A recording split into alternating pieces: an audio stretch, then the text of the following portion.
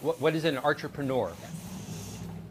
Well, an artrepreneur is basically the extrapolation of an artist into entrepreneurship. And it's my particular point of view that artists are, by their very nature, entrepreneurs.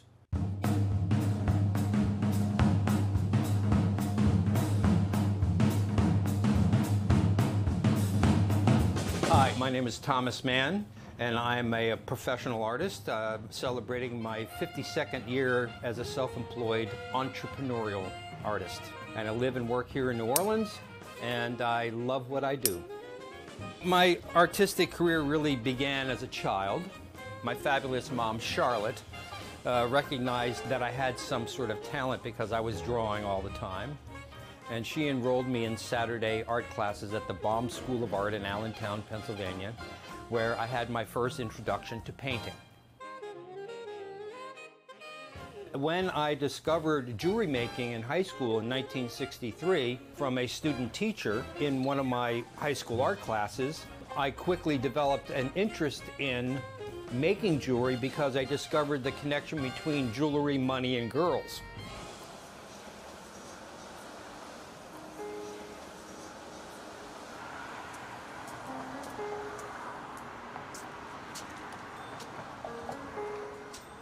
I would say that the principal inspiration I've had throughout my career that has contributed to the design vocabulary that I am known for, which is called techno-romantic, techno-romantic jewelry objects. Uh, basically are whole world, primitive culture, current cultures, iconography, history, all of those things combined into the development and the extrapolation of a personal design style. That's always in the background feeding what I do.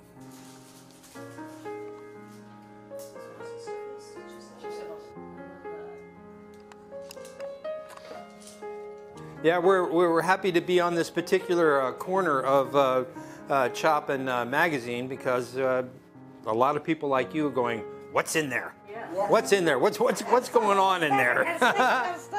yeah, yeah, good. Yeah, right. so thanks so much. And uh, his role in the crafts movement is huge. The interesting thing about Tom, one, one of the one of the principal threads in improvisation since antiquity is that it takes valueless things and makes valuable.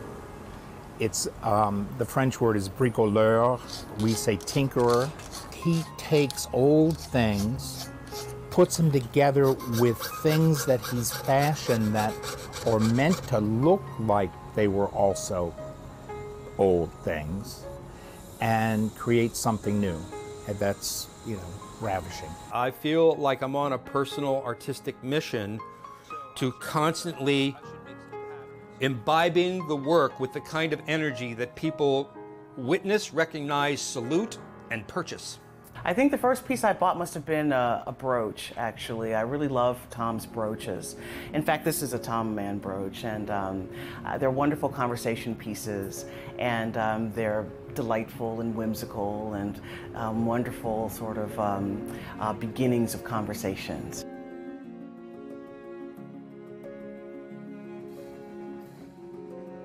As you know, New Orleans is one of those cities that is living in lots of different centuries all at the same time.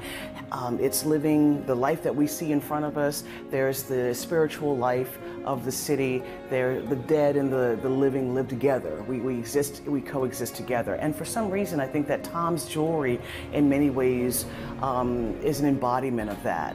You see images of uh, faces, for instance, in the jewelry of people who who've lived long ago, but who, for some reason, have a spiritual um, connection to whoever's wearing that piece. For instance, you have these sort of amalgamations of um, very current and sleek, you know, metals, but at the same time, you have this. Uh, you'll have wood, or you'll have some other type of resin, for instance, or you'll have some stone, some piece of glass, for instance that uh, was discovered, you know, from a Roman ruin site somewhere in Europe.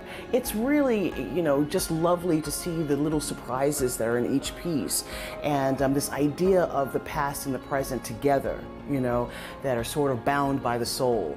Um, perhaps initially Tom's soul, but then once you purchase it, once you wear it, then somehow your soul intermingles with it.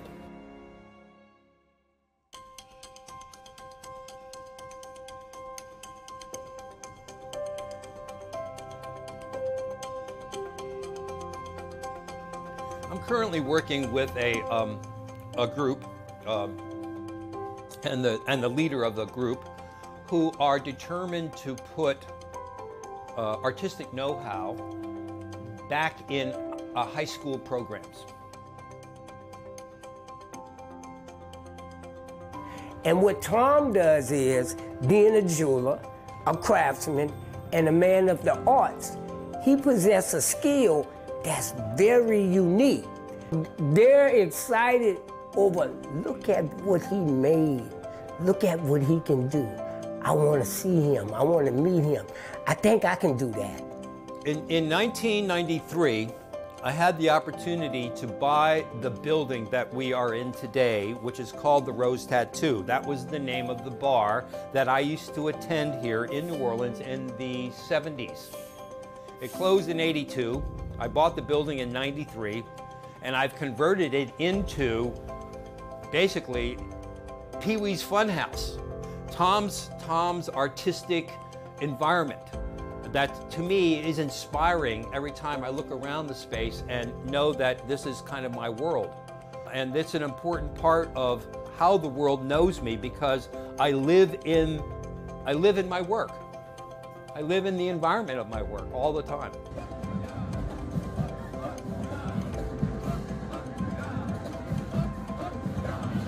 He's a wild man, my kind of wild man. He's a lot of fun.